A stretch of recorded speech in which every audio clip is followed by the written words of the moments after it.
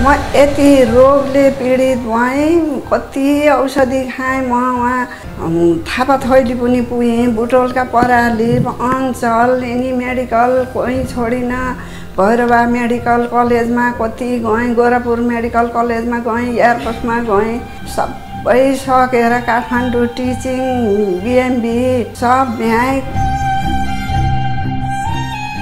निद नलाउने भोक नलाउने त्यसै जिउ छाडिने हात खुट्टा लुला हुने पेट ढाडिने उकुक आउने अमिलचुकी आउने त्यस्तो भइरहेको मुटुको हस्पिटलमा गौतम बुद्धमा गएर समेर डक्टर गौतम डक्टरसित पनि तिन सालको औषधि खाएँ।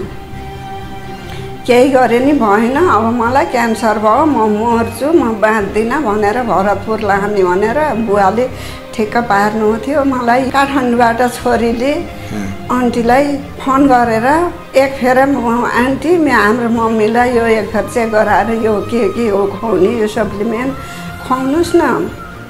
भनेर भनी बहिनीले मलाई भनिन् सुमनले मलाई भन्न गइन् ल्याउन गइन्। मैले पत्याएन यति औषधि खाँदा नि भएन। मलाई अब यस्तो उसले के हुन्छ र म जान्न भनेर गइनँ दुई तिन फेर मैले म टेडिनँ बहिनीलाई त्यहाँबाट छोरीले फेरि गाली गरी। छोरीले गाली गरेर पैसा लाग्छ भनेर होला कि? तपाईँलाई पैसा तिर्न पर्दैन या त फुर्क जानुहोस् भनेर भनी गाली गरेर गएर खाना थालेको। छ महिनासम्म मैले रेगुलर बिहान बेलुकी दिउँसो टाइम टाइममा खाएँ। अहिले दुई साल दुई ढाई साल भयो। यो खाना छोडी छैन कम कम गर्दै गइ गराइदिएछन् बहिनीले कम खाँदैछु। तर मलाई छ्याङ्गै भयो। केही रोग छैन। यति खर्च गर्दाखेरि नभएको अहिले यस्ताले यो के के खाएर भयो यस्तो भनेर भन्छन् दिदीबहिनीले मैले भन्छु अब यस्तो खायो न। हुने रहेछ त के अरे म त बाँच्नु थिइनँ बाँचु लाजु पनि थिइनँ भनेर भन्छु मैले।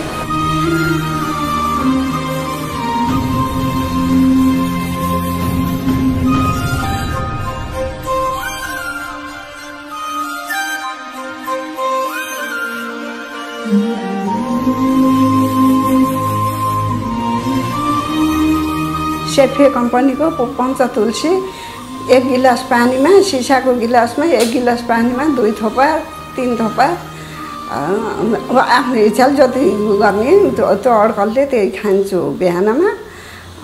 फेरि यो खाएपछि एकछिनपछि यो एलोभेरा खान्छु। त्यहाँ पछि एकछिनपछि फेरि यो डबल स्टेम भन्ने। सेफी सेफ कम्पनीको यो खान्छु। एक गली खान्छु पहिला दुई गली खान्थेँ अहिले एक गली खान्छु। यो फेरि नखाए पनि हुनेमा मैले खाइरहेको छु। खाना म ऊ लाग्छ छोड्नै सक्ने छैन मलाई पुरा विश्वास छ भएर खान्छु मैले यो। यसैले यिनीहरूले ठिक भएको छ मलाई। मैले दिदीबहिनीलाई सबैलाई यो खानुहोस् सन्चो हुन्छ यस्तो पीडित भएर नहिँड्नुहोस् हस्पिटल भनेको त यो दबाईले दबाउने मात्रै यही छ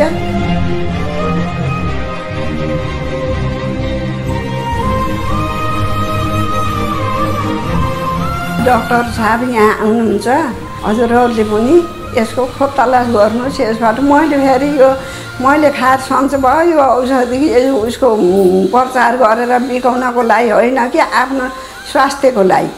स्वास्थ्यको लागि हजुरहरूले पनि बुझेर पीडितले खानुहोला र आफ्नो स्वास्थ्य ठिक गराउनु होला हस्पिटलको मात्रैले विश्वास हुने रहन्छ अब हामी बुढाबुढी पनि भइयो यो आयुर्वेदिकको यो पनि खानुपर्छ खानु।